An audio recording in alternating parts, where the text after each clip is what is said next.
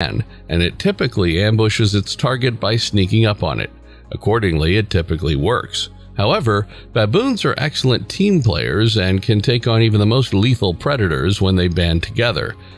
Have you ever witnessed a battle between a leopard and a baboon? A sleeping leopard in the treetops has remained undetected up till this point. Each household looks to the matriarch for guidance as the dry season continues. She is one who knows where to find water. Every day, a big